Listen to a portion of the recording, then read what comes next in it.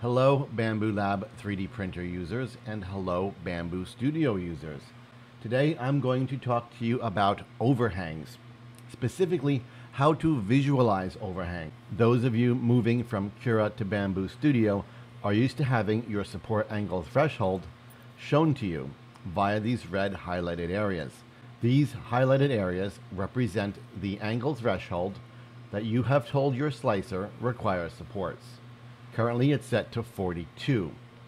For example, if I wanted more supports, I would lower this angle to say 35 and you will see the highlighted area has now changed to represent 35.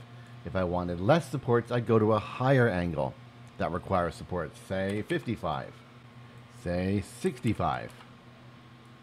And now you'll see even less highlighted area showing only those at 65 or greater. Those of you switching over to Bambu Studio will be surprised to learn you cannot visualize your overhangs. This is super confusing because you want to understand what your setting is doing and how it's affecting the model. Say you set it at 35. Well, what does 35 represent on this model? Previously, in earlier versions of Bambu Studio, you'd have to slice the model to see where the supports go or switch to a different visual mode such as support painting where you'll notice those highlighted support sections suddenly appear. Well, in a recent update for Bambu Studio, they have added visual support overhangs. However, you may have gotten the latest version of Bambu Studio and noticed you still don't see your support overhangs highlighted. That's because they are not showing by default.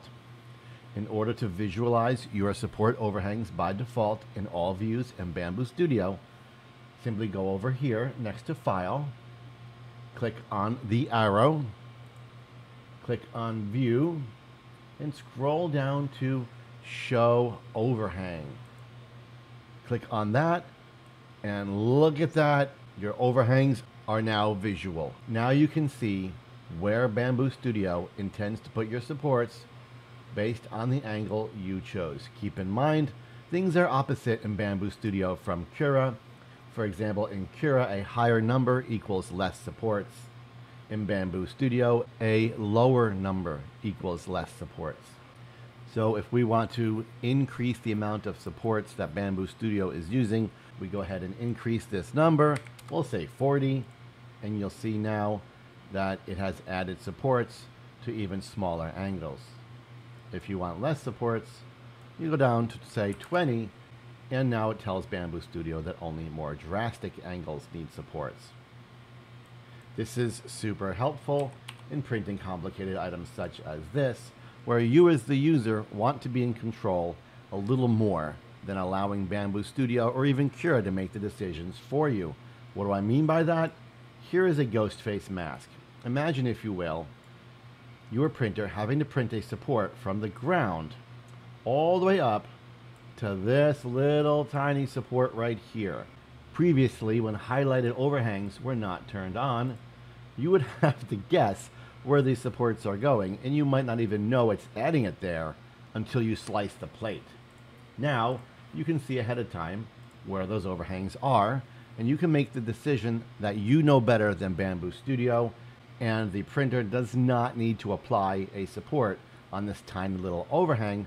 Therefore, you can go ahead and paint block it in Bambu Studio by choosing Paint Blocker, right-clicking, and painting red over that overhang. Now, when you slice this model, you will see that it does not apply a support there, which will save you tons of time and even potential failure in having that support knocked over. There you have it. This is what your supports now look like. Having not painted over that highlighted overhang, you will see that Bambu Studio wants to build this giant tree support all the way up here just to attach to this tiny little point that you know darn well your printer can handle without supports. Also, look where it is. It's behind the model and underneath a lip. Therefore, even if it wasn't 100% perfectly clean, it's out of sight and you wouldn't really care. So this is why it's very important that support overhangs be turned on when working in any slicer. This model's not too complicated. Sometimes you'll be working with models that have tons of overhangs, many of which you can go through and have a look and turn them off with support blockers, or simply adjust your threshold angle to turn some of them on and off to get something that looks more acceptable to you. Without these overhangs turned on, it's an awful lot of guesswork and reslicing and reslicing, and it's not something you're going to want to be doing on a regular basis. So go ahead, click on View, click on Show Overhang, and start working with your overhangs visible from the start right now and never go back.